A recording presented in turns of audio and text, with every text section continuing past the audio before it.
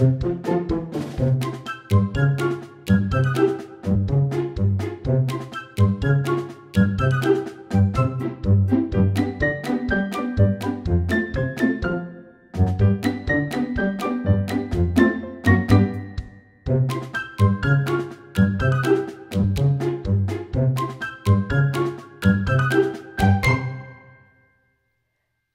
you make these basic shapes, the rounded off rectangle for the body, the belly, the beak, and the circle eyes, triangle beak, you get to be creative. Use a marker to draw eyes and then use some of the scrap papers to give your penguin some personality. Like this.